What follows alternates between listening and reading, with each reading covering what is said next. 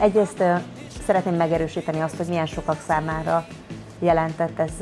példaértékű lépést ez a cselekedeted, és hogy ez nem csak a sportolóknak, hanem mindannyiunknak olyas valami, ami elgondolkodtató, hogy akkor, amikor nagy a tészt, amikor nagyon sok forog kockán, és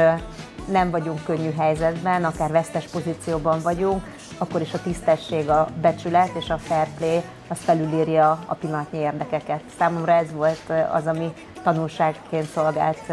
ebből a lépésedből, és éppen ez az ok is, amiért én személyesen úgy döntöttem, hogy szeretnélek felterjeszteni nemzetközi fair play-ra, tehát Kamuti Jenő elnök úrnak írtam egy levelet, amelyben felterjesztettelek nemzetközi fair play díjra, hiszen úgy ítélem, meg úgy gondolom, hogy nagyon sokan vannak Magyarországon, akik egyetértenek abban, hogy büszkeség lehet, hogy nekünk egy olyan többszörös olimpikonunk,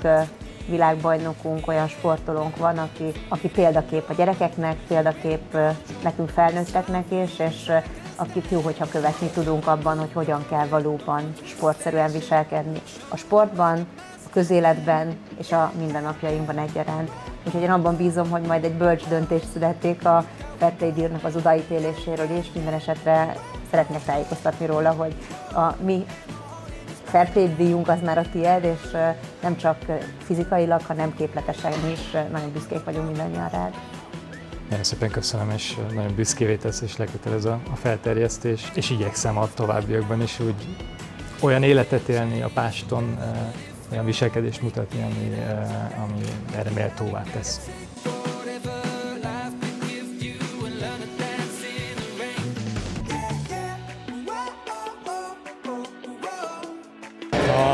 azt tudom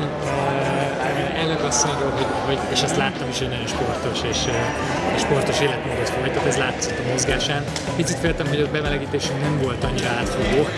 hogy ez mennyire lesz majd sérülésveszélyes, de látszott, hogy, hogy a mindennapi mozgás azért vitte őt előre. Mindig öröm egy olyan valakinek megmutatni a sportág szépségeit, alapjait, bármit belőle, aki, aki abban nem annyira jártas, hát mint hogyha ez az államfő, akkor ez természetesen egy külön örömforrás. És ki nyert? Nem számoltunk, úgyhogy nem tudjuk, nem tudjuk, hogy ki nyert, de, de amikor felhívtam a figyelmét elnökasszonynak arra, hogy célszerű támadni és arra törekedni, hogy az ellenfelet meg is vágjuk, akkor ezt nagyon hamar elsajátította, és, és nagyon erőteljes offenzívákat indított